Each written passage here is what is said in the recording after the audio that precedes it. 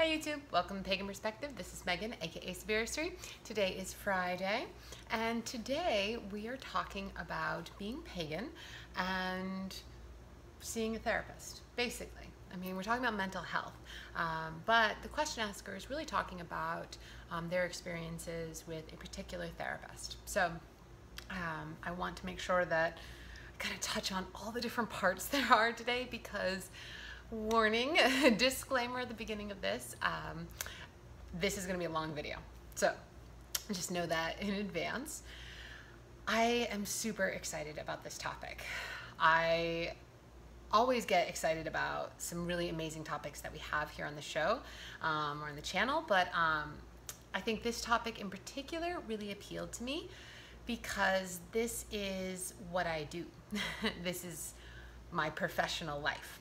So, if you do not know, I'm going to start with just introducing myself and why uh, I'm saying that this is my professional life and why I feel like beyond just my pagan perspective this week, I'm also going to be given giving the uh, perspective of a mental health professional. So, a little background of me: I am a therapist. So I actually uh, technically have more schooling than a medical doctor. Uh, I've been in school for a really long time. But I have my bachelor's degree in abnormal psychology, focusing on antisocial personality disorder, borderline personality disorder, um, amongst other anxiety disorders such as OCD and hoarding. I also completed my master's degree. I have my master's degree in marriage and family therapy with a heavy concentration in children um, and families. And my specialties were LGBTQIA plus families as well as trans um, and gender issues. And on top of that, children um, with severe behavioral issues um, and mood disorders, as well as going even farther into borderline personality disorder um, in the realm of DBT so it's a heavy focus for me. And on top of that, even beyond that scope, I'm also I also train in DBT as well as psychodrama therapies. They're really important. And on top of that, I've completed all my coursework for a doctorate of psychology in clinical psychology, focusing on personality disorders, mood disorders, uh, the LGBT community, uh, as well as integrative therapies. So that is a big focus. The only thing I haven't completed is um, the internship for that. So basically that's um, my breakdown. So years and years and the student loans to prove it of education um, and experience. I've been working in the mental health field um, since for 17 years now so since 2000 so a very very long time and it is what i do. It's what i do every single day. So that being said I was also excited about this topic because I actually did uh, a very large research project uh, for my master's degree program because I felt like they were significantly lacking when we did minority religions um, in sort of the diversity training that we do. And I felt like pagans were underrepresented. So I developed a training for them and it's actually something that's still used by the school uh, today. So I'm going to be touching on a little bit of what I do in that training. I I haven't yet uh, heard back. I'm not sure because it was for the training for them. I don't know if I can just make that training public for you guys. So I'm not sure. However, what I am going to do is I'm going to be putting all of the resources that I'm going to be talking about um, and different resources for you to look at all in uh, the little down bar area below. Now, this is going to be academic resources, so many of these things you're probably not going to be able to find online. A lot of them you're going to have to go to a library to be able to find. These are academic, scientific journals. Uh, these are um, books and academic resources from peer-reviewed journals. So this is not your standard website that you can just kind of click on and you read through. This is not for the layperson. Um, so, but you can still go read them. I mean, they're all still available to you. So uh, these are uh, academic resources. I do put in a few though that um, you probably can find some things online about uh, just because we are a global community and some of these things are starting to have more of an online presence and websites. So that being said, you still might be able to find some information. So but just know that it's going to be in that works cited formula for for those of you who remember having to your reference page your works cited page um, it is going to be in that format so um, and it's APA which is um, uh, the standard format that I use. So, that being said, um, I also would like to go into one more uh, sort of disclaimer. I mean, not really a disclaimer, but just let's let's get this part straight at the beginning, um, and that is about therapists in general. So, um, one thing that I, I hear a lot is people trying to tell therapists what how they should do therapy. Right? They think, well, this is how you know you should work best.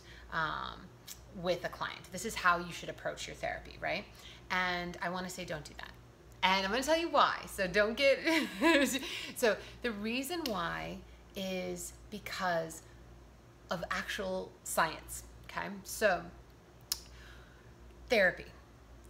Most people understand that every therapist is a little bit different. We all have our different styles, right? We all have different approaches, different models, different therapies. Now, when I talk about this, uh, upcoming, I'm talking about therapies that are standardized. These are therapies that many therapists are using. They are known to work.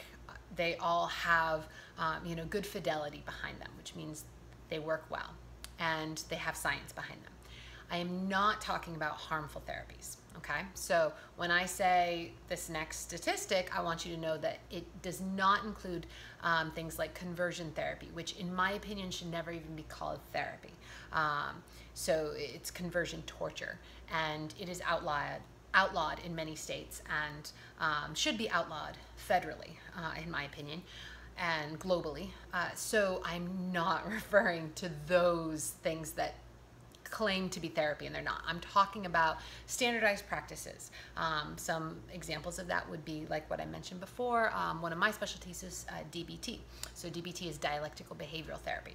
Um, it's a it is its own thing, um, but it is along the same lines um, as far as the types of therapy um, as cognitive behavioral therapy, cognitive behavioral therapy that's trauma informed, uh, strength based therapies, narrative therapies, emotion focused therapies, EFT, um, among many, many others. So, uh, that being said, uh, I'm referring to those therapies, those, those good therapies. So, the two primary factors that influence whether or not someone will be successful in therapy, okay, the two biggest predictors of whether or not they will be successful in therapy, first and foremost, is therapeutic rapport. That's the biggest one. And that's do you mesh with a therapist? Do the two of you mesh? Do you buy into their therapy? Are you with them? Are you getting what they're saying? Are they with you? Right? That therapeutic rapport is essential okay? And the second is the confidence that the therapist has in their therapy. And you're like, the confidence, really? So if they're just boisterous? No, no, no, not like that. Confidence in a therapeutic setting comes from experience. It means that they have done this type of therapy for a long period of time to which they feel very confident, very educated, very informed. They can do this very, very well. Okay?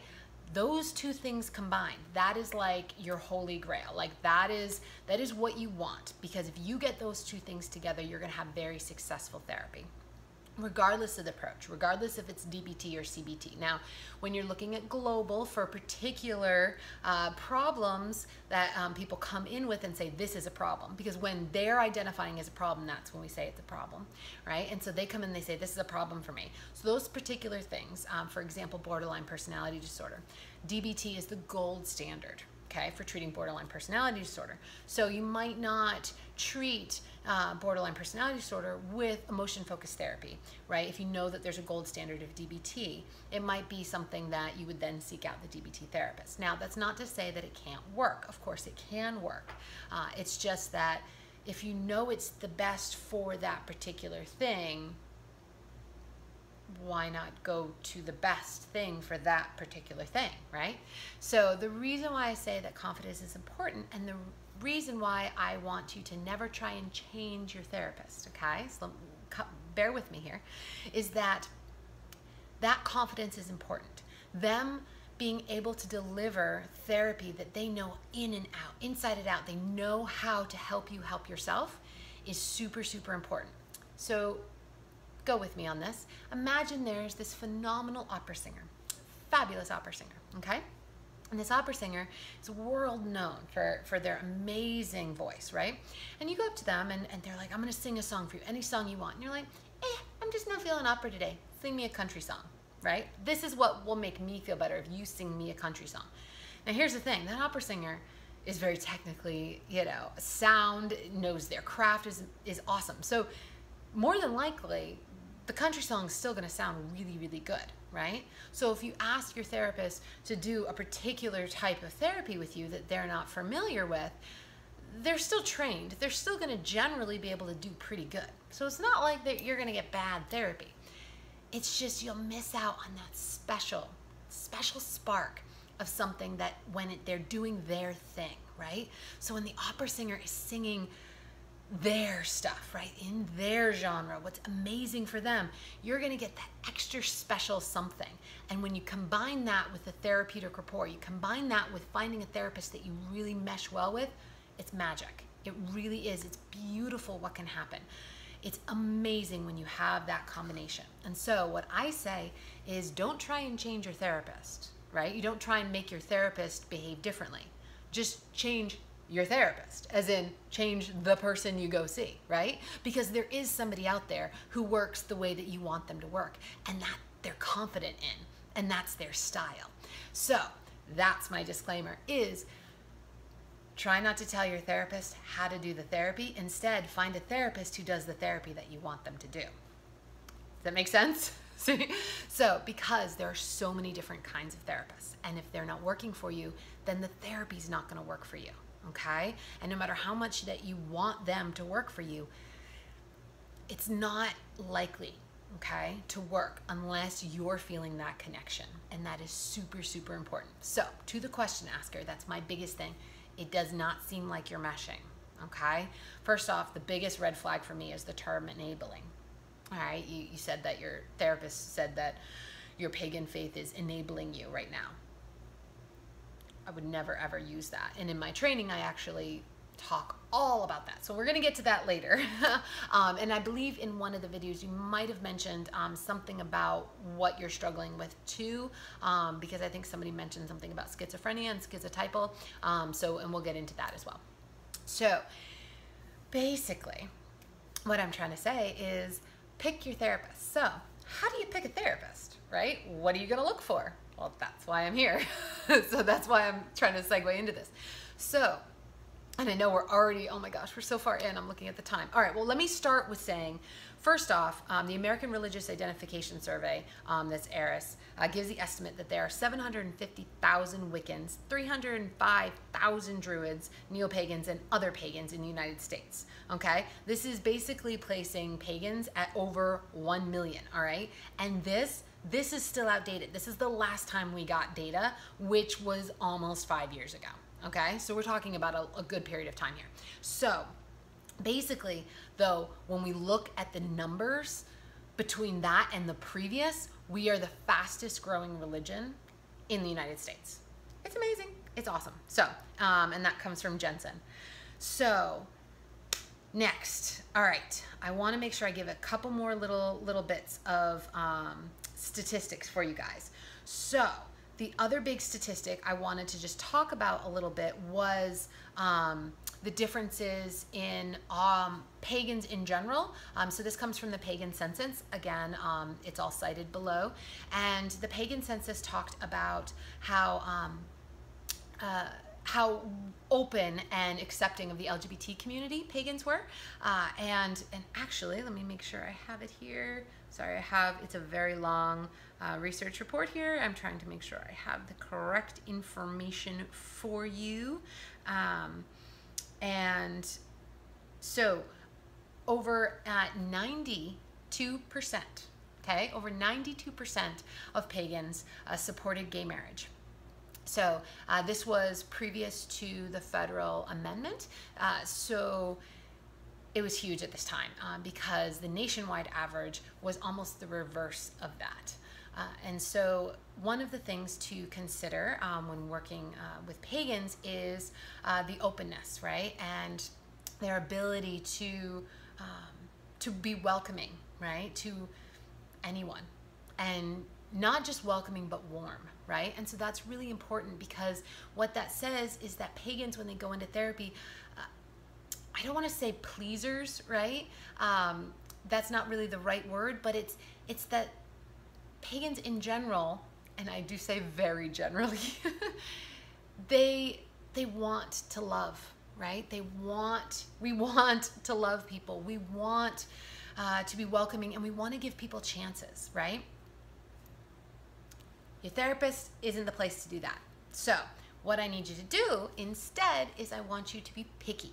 I want you to be super, super picky because this is somebody that you are going to be basically letting into your little world and um, into the little world inside your brain, right? You want to be picky about this and you're entitled to be picky. Be super picky. Interview them.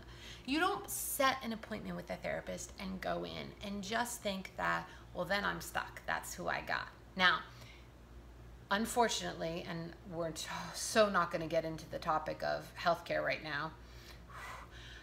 So, I understand insurance. I know many of you might not have a lot of choice in therapists, okay? So, if you're in that spot, private message me below, okay? Send me a message. Um, you know, do it through the, the Pagan Perspective Facebook page, do it down below some private message me and we'll figure out something. There's always, always, always a way around it. All right, we will do whatever we need to do to be able to help you um, try and find a therapist that works for you. So, because there there are therapists. Now, here's the thing: it might mean not being able to stay in the area you're at, or it might, you know, there's all sorts of things. You might have to travel farther, that kind of thing. But we will do our best. Um, if you are in an area that we call uh, sort of a, a uh, mental health desert, right? Um, and that is where there is just not a lot of providers um, and you are struggling, okay, with your mental health and you, you want help, uh, I really, really suggest reaching out um, to neighboring towns and to moving out of your area because your mental health is super, super important. And if you're seeing the problem, um, then we want to make sure that you get help. So, because there are some areas of the country where there just aren't enough providers, and it's sad. Um, so, that being said, um, one of the things that's important to that I, I do want to mention here before we get into how to pick your therapist, I want to mention what I am. So, what type of um, therapy I do. So, when I go into a therapy session, so my belief is that the therapist is there uh, to help the client, right, see change in themselves. Help the client change themselves, right? We can't change. No one, no therapist can make a client change. So, let's get that idea out of your head. No, no therapist out there, okay, worth their salt. And I do say worth their salt because I'm not saying there's not horrible people out in the world, but there's horrible people in every profession. I'm talking about like, you know, the, the good ones, right? The average ones. So they they are not going to change you. They can't force you to change. They can't rewire your brain. It's just it's not going to happen, right? That's not what we're trained for. And we're talking about years and years of training here. And so no matter what people think that that you know um, that we rewire clinicians rewire brain, and um, we don't do that. And so, but what we do is you come in with a problem, right? So at that point, right, that's when we call it mental illness. That's when we give a diagnosis. And diagnoses are important. Um, while I have a problem with the medicalized nature of a lot of it, having a diagnosis can be incredibly empowering for a lot of people. And for other people, it can be disempowering, okay? However, what it does is it gives a framework. And so what you need to be able to do is say, and you can even say this to your therapist, you can say, look, I don't want to know my diagnosis, right? Because here's the thing, the therapist most likely is not going to tell you your diagnosis. Um, it's not something that we do. In fact, most therapists don't want to have to tell anybody the diagnosis. The diagnosis, honestly, we don't believe it should go anywhere but just the therapist and the client. It should be something that all it is is a framework for the therapist to be able to provide therapy. That's it. It shouldn't be anything more than that. Uh, it should never go to an insurance company or anything. That's a whole nother topic for me. It should never go there. But what it does do is it, it's a working framework. And my visualization is it's always in pencil, okay? or in my case, erasable pen. Um, but the point is, is that the diagnosis is never a firm, set thing, right? Our, our mental health is fluid and it changes, right? So one day you can come in, you know, one month you can come in and, you know, you might meet all the criteria for borderline personality disorder, right? And then you go through a year of DBT uh, group and training um, and phone consultations and everything that you need to do as part of the DBT program. And you come back after that year, and many times we see people, they literally cannot score for BPD anymore. They can't do it. They literally have helped themselves through the therapist helping them help themselves to a place where they no longer meet all the criteria for that diagnosis, right? And so, and that's because they wanted help, right? So the majority of people who come into therapy are coming because they want to. Now, yes, there are some people who are forced into therapy and all of that. And that's, there is, like I said, this video could be hours and hours long. I've, I've had more than a decade worth of training in this. It's, I'm going to do my best. However, the majority of people come into therapy because they want change, because something isn't working in their life. They don't feel good. They want help right? The majority of people who seek out therapy say, I don't feel good. And usually they come in and they say, Make me feel better. And I go, I can't make you feel better. I can't make you feel better. I can give you the tools, though, to help you make yourself feel better. Okay? So that's the difference. So that's how I run my therapy. Um, I am very directive though. I am very much involved. When you get me, you get me 100%. I am in there with you, right? And I'm gonna call you on your stuff, right? I'm gonna say, hey, whoa, bro, are you, are you kind of trying to trick yourself here, right? Because we do that sometimes. We'll, um, we really want something and that's our goal, but then in the moment, we don't feel like doing it. So we kind of like justify the reasons why we're not going to do it. And I'm like, hey, wait a minute. This is your goal. This is what you're working toward. Let's keep on this. And usually it, I get a lot of grumps and groans. And in the end, though, it's like, wow, thank you so much for helping me stay on target with the goal that I wanted, right? And so that's super important. So, anyway, getting off track a little bit. So that is the type of therapy that I do. Uh, mine is 100% unconditional positive regard. I am there for you. I am not there for me. So uh, a therapist is never uh, there for themselves. Now, this again, I'm talking about a good therapist here. there's bad ones, there's bad ones. But what a therapist should be is uh, they are there for you. So oftentimes we call that the mirror, right? So they are a mirror holding up so that you can see things that you didn't see before right and they're they can kind of move that mirror around so that you can see in nooks and crannies and they're kind of a special mirror in a way that they also can help provide uh, I would say maybe different angles and and reflections. They can do a you know a nighttime version. They can do a daytime version. They can do different lighting sources, thermal imaging, all of that. Basically, we have a whole host of tools at our disposal to help you help yourself, and that's super important. Uh, and the way that we do that is through uh, different therapeutic techniques. So I'm an integrative therapist, which means that I use multiple different techniques. I am confident in many of them because I've been trained in so many and I've been doing this so long. And I integrate them. And then I also train other therapists on how to integrate them. In fact, one of the things that I do uh, that is particularly um, popular, I should say, is my combination of DBT therapy and psychodrama. Psychodrama comes from um, a very old uh, form of uh, psychology. Um, basically, so Moreno was a contemporary of Freud. I'm sure you've heard of him. Uh, only Moreno's psychodrama, uh, what he was doing at the time, actually is still practiced today and is still amazing. Uh, unlike some of Freud's stuff, it's, hmm, you know, it's good reference material for the history.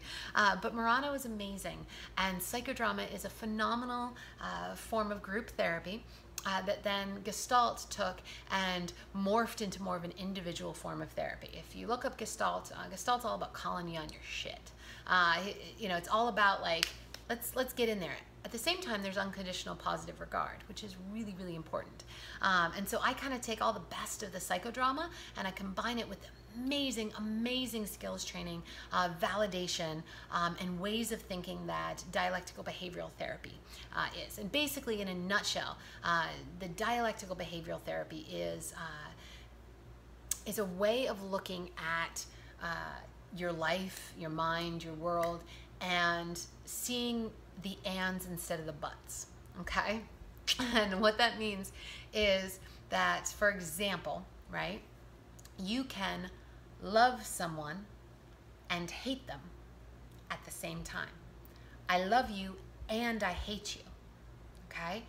Two things can be held as true. Two opposite things can be held as true at the exact same time, and there's no contradiction there. That's really important because if you hear the words, I love you, but I hate you, right? Right? I love you, but you messed up, right? The but completely invalidates what came before it. And it's very detrimental, especially if you grow up with that invalidation, constant invalidation. And so the and, right? I love you, and you really could have, you know, maybe tried harder on that, right? I love you, and sometimes I hate your actions, right?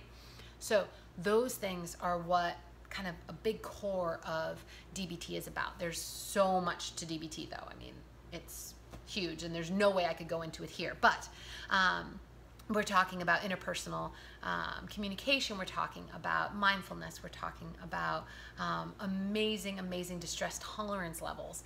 Um, we're talking about validation. We're talking about all sorts of things, right? Emotion regulation. Um, so, for those of you who know DBT, you probably know your wise mind, right? You, are you acting in wise mind? And for those of you don't know, uh, the idea in DBT is that we split up the mind into three separate parts. You have your emotion mind, your rational mind, and where they intercede, where they cross. So if you have two circles, right, you put them together, this little part in the center, that's your wise mind. And wise mind happens when emotion mind and rational mind agree on something. Um, and so we try and always strive for being in wise mind, but sometimes we have to be in rational mind. Uh, that's just something that, and once you learn to be able to uh, train your mind to think uh, in that way, it's really amazing what you can do because it allows you to have more distress tolerance um, when you need it um, and it allows you to tap into your emotions and be more validated because one of the biggest problems is that we're not validated enough so okay back to um, the question um, pagans in mental health. It's always been a concern um, for mental health practitioners because of the supernatural side of it. Um, so, speaking with spirits, um, seeing uh, seeing different apparitions, or speaking with elementals, um, or different deities while in ritual, or even not in ritual. All of those things can send off red flags to more traditional therapists, right? who are not as well versed, which is why my training was so important. Um, more and more therapists now are getting training. Um, there are a number of different trainings that are going around. In fact, there's even a training for social workers um, on dealing with foster families um, and foster children. Um, either the foster family is pagan or the children coming in are pagan. Um, and so it's really been amazing. There's also a spiritual assessment, which I, yeah, I'll, I can put the spiritual assessment in uh, maybe.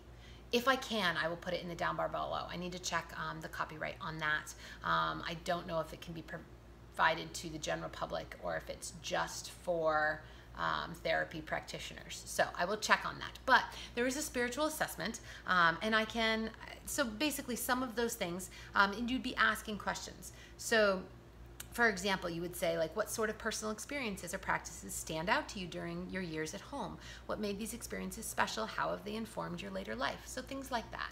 Um, it's a spiritual assessment just to get a general idea of um, somebody's spirituality um, and to find out more about how important it is.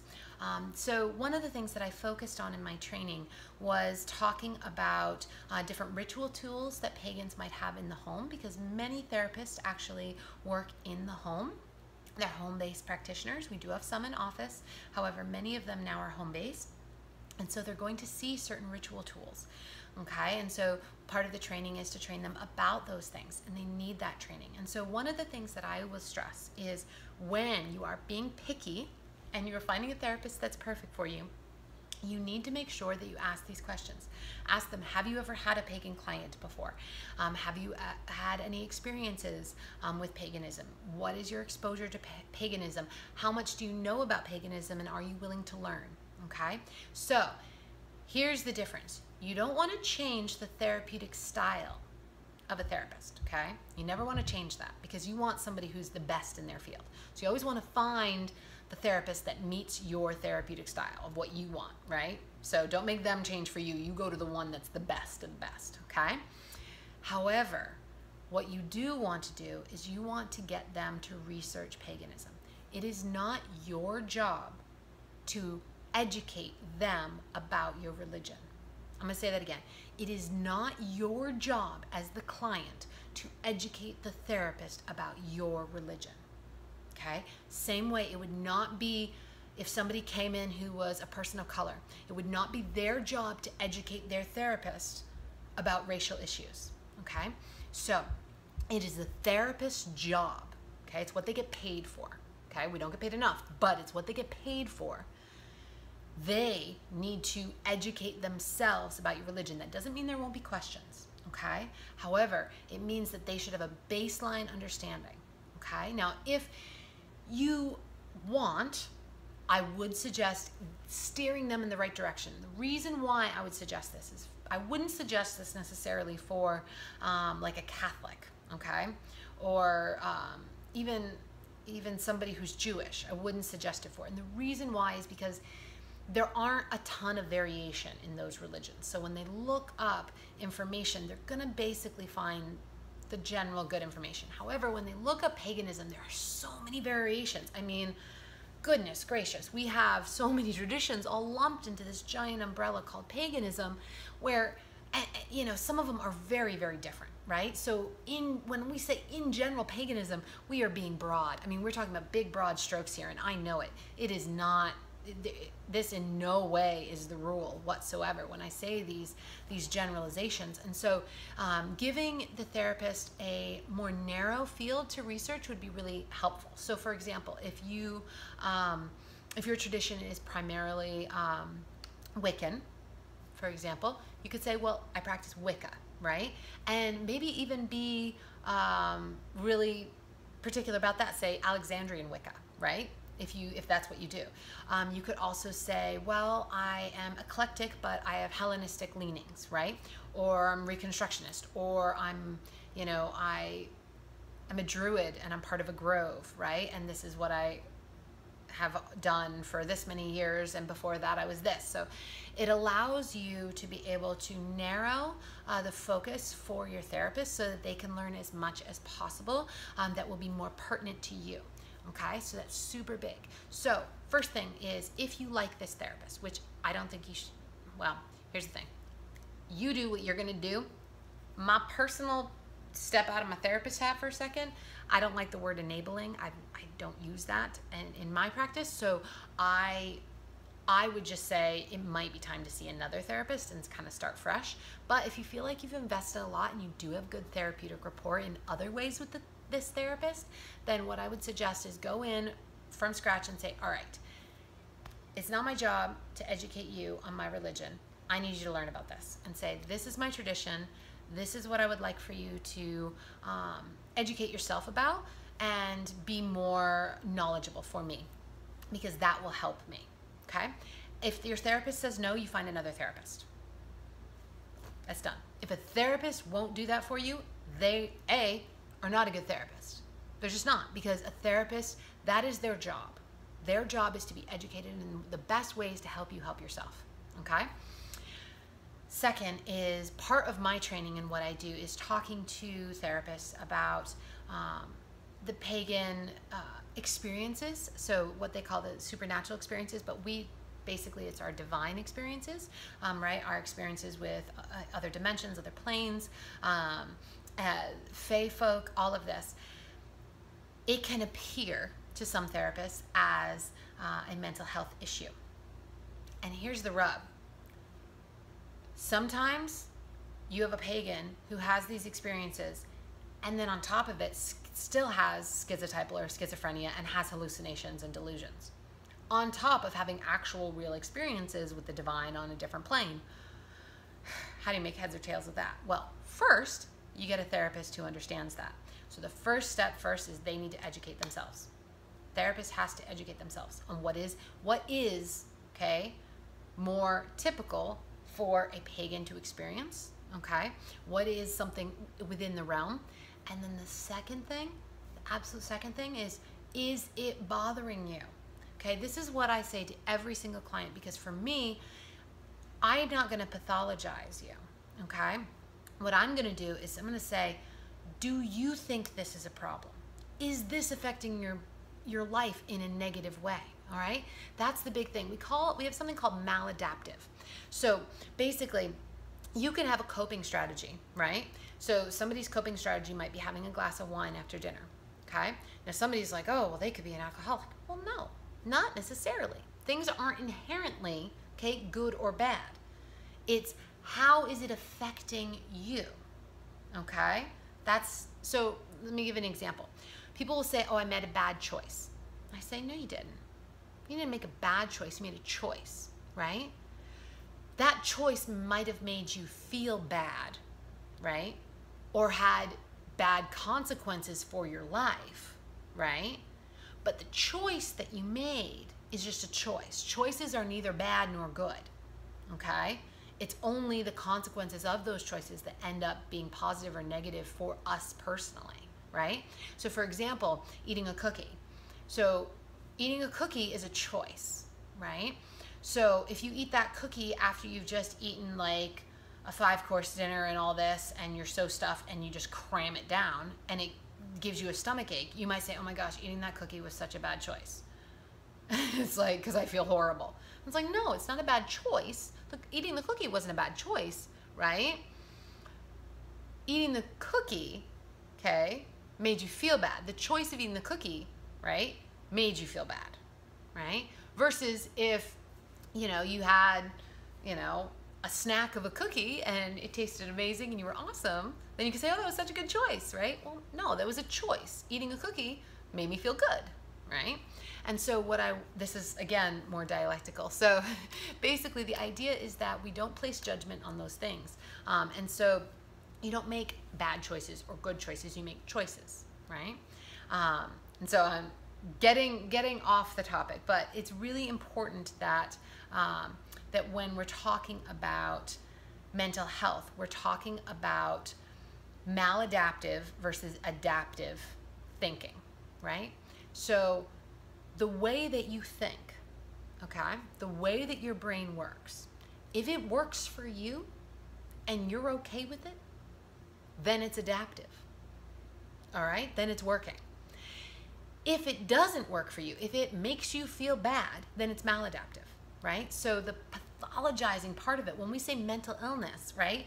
Somebody could be experiencing something that doesn't bother them at all. And to somebody else, they might say, wait, that isn't that depression or isn't that a personality disorder or something? And they're like, hey, I'm okay. I feel good. I feel awesome. And it's not hurting anybody, right? So it's not maladaptive to other people around you either. Then it's adaptive then your coping skill and what you're doing is fine.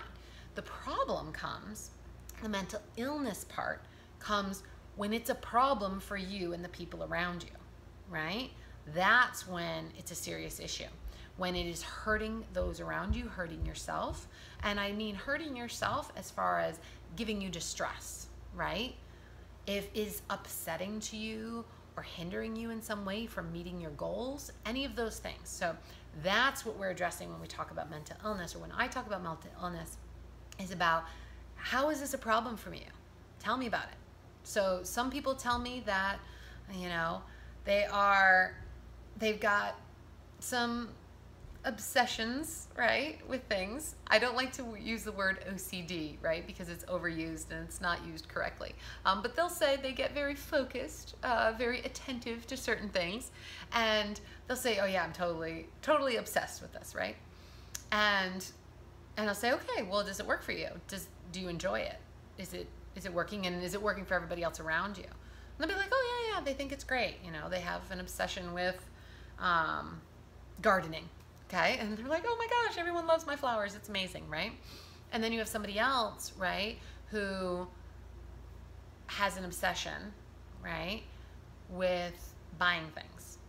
And their house fills up and they start hoarding. And their family can't live in the house anymore and there's insects everywhere and it's becoming unhealthy. Then it's a problem. Then it's maladaptive, right? So they might think, well, I love shopping and it makes me feel good, right? However, is it harming them? Yes, it is because it's harming their health, right? Like we're talking about science here, it's harming their health, all of that cockroach droppings and everything like that, um, and the shed skin, all of it's bad. And their family, right, is saying, look, this is horrible, this is bad, the, the, this person's going to lose their house, right? It's going to be condemned. So then they won't have a place to live. So that's maladaptive, right? And so at that point, then we come in and say, look, this isn't working. Let's find something else, right? And so that's the other part that I wanted to talk about. When you're saying that this person, the therapist, is saying you're being enabled, what I want to know is what have you done to replace those things? Because I will never work with a client to help themselves um, by removing a coping skill that they have until they have a coping skill that's a replacement already in place, right? So, for example, um, like if you if you want to um, if you want to move something, right, and you want to hold the place of something else, you need to move something into that area, right? Right away. It needs to be able to come right in. It's got to be ready to go right there. Indiana Jones, right? The the pressure sensor thing when he moves he wants to move the thing off and move move the weighted sandbag or whatever right onto it. You need to have that coping skill ready to go. So you need to work on building new coping skills uh, that will work for you, that are more adaptive, right? That are something that you enjoy, uh, that make you feel good um, about things, and you want to move that right into whatever we're taking out that's maladaptive right? So think about it like this: if you're um, if you have a car and um, the brake pads have gone, right? You're not just going to remove the brake pads and then drive around and wonder what to do. No, you're going to remove the brake pads and put new ones in, right? So you need to have those new brake pads ready to go right then and there to be able to put right in. So when something doesn't work for you anymore, you need to remove it, right? And put something else in its place so that those things work for you then. Super important. So, goodness, this is getting way too long. I I would love to talk more about this. I feel like there's so much more I can talk about. So, to the question asker, um, I don't know your story, and so I'm not going to say, you know, whether or not the enabling thing. I can say I don't like the term enable, enabling. Um, I think that if you if you feel a good therapeutic rapport with this therapist, I would definitely recommend, and I would recommend this as a mental health professional, okay? I would recommend you asking them to educate themselves on paganism, on your specific type of paganism, you know, whatever that might be. Um, if you would let them know what that is and ask them to educate themselves, okay? if you do not have a good therapeutic rapport with this therapist, I highly, highly, highly professionally, professionally recommend that you seek out another therapist. Okay. Um, I wouldn't want you to give up your therapist uh, if they are providing some support until you have a new one. Um, so the same thing. Don't just give it up without one that's immediately going to go into its place, right? But I would actually ask your therapist and say, look, this isn't necessarily working for me. Um, I really feel like I need somebody who understands uh, my religion more because it's very important to me. And can you recommend any other therapists? Oftentimes, um, depending on where you are, if they're at a at a big agency, there's other therapists there at the agency who might be able to understand. Um, so you know it's all something where uh, you need to basically say is do i want to stay with this person or am i ready to try somebody else so that would be what i would recommend um, and as far as mental health goes you know it's really really important that you are very very careful um, when it comes to legal issues um, and sort of the pagan realm. So uh, the Pagans and the Law book, super, super important. Just remember that you have rights. Okay. Now, in certain states, it gets tricky. Okay. And so um, I understand that and be safe. Take care of yourself. Um, and just be wary of that. Study up. Pagans of the Law is an amazing resource. That book will help you. Um, as far as therapists go, really look for different things. If you are looking for um, kind of gold standards, I recommend always looking for a therapist who is familiar with dialectical behavioral therapy. It's considered a gold standard, it's amazing therapeutic practice, and as long as they're familiar with it, you're going to get, you know, some pretty good therapy because it means that they had to go through a lot of hoops to get there, uh, which means they're trained and experienced. So, second is cognitive behavioral therapy. If you see DBT and CBT or TFCBT, okay, trauma focused, those are also very good therapies. Okay, if you see somebody who's a narrative therapist, narrative therapy can be very good for mood disorders. Okay, however, if you are struggling with things um, more like anxiety, I would definitely suggest doing DBT or CBT. Just, but if you have a mood disorder, um, so that means that you feel like you have a disorder in your mood. Okay, so if you feel like my mood is not right, right? I'm depressed all the time, right? Or I'm having super highs and super lows. Um, that um, if I feel like uh, I want to hurt myself, right? So narrative therapy can be very good for that. If you feel like you are chronically suicidal, DBT is by far the best therapy though. Okay, so just feeling really low, narrative therapy can be very helpful. However, chronic suicidality and cutting, DBT is absolutely one of the best therapies for it. Okay, there are hotlines you can call. Okay, national hotlines if you are feeling suicidal. Okay, so that is why I said I wanted to touch on people who are forced, quote unquote, forced to go to therapy. Um, I, we don't have time to go into it too much. However, you know, if we're talking about somebody who's institutionalized, uh, my number one goal, whenever I've been working with um, children or adults who are in residential care, residential care is hospitalization, whenever I'm working with them, I let them know that yes, the law or their parents might be saying they have to come and see me. However, I do not make them talk. If they want to come and they want to sit there and do absolutely nothing, stare at a wall, they want to talk to me about the weather, they want to color, they want to play a game, they do not have to talk to me. I never force anyone into therapy. Their parents might say they have to come to me. The federal government might say they have to come to me and that's fine. That those those authorities outside me say they have to sit in my office, right? Or I have to go to, you know, they have to sit with me for 50 minutes. That's fine. We'll sit there and we'll sit there in silence if that's what the client wants. Because I will not force anybody into therapy. Okay? And I don't know a single therapist personally who would. Okay, all of the therapists that I've trained with have been amazing. And I, I don't know a single therapist who'd ever force anyone to therapy. You just sit there, you're quiet, you want to play a game. I mean, I can't even tell you how many games of Uno I have played, uh, chess I have played. Okay, we'll sit there and color. We'll sit there and do a collage. We'll sit there. I've gone through entire therapy sessions with not a single word spoken. We sit there and play with kinetic sand. It's one of my favorite things. I have a huge tub of it. Um, you do not need to be forced into therapy. And no good therapist is ever going to force you into therapy, okay? So just know that. Um, so, how, what I am going to do though is if somebody comes to me and um, they tell me one of three things, they're going to hurt themselves, they're going to hurt somebody else, right? Or somebody is hurting them. I am a mandated reporter and I have to help, okay?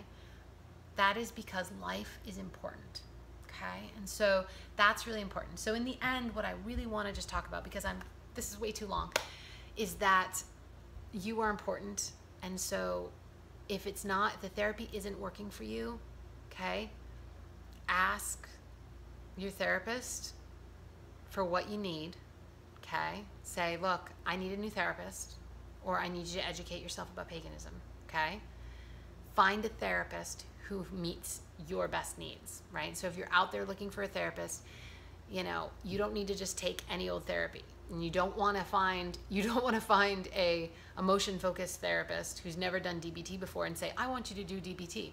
It's not their specialty. They're not going to be able to do it. So remember, don't force a therapist to do a therapy practice that they're not educated in. However, okay, you can ask them to be educate themselves on your religion, right?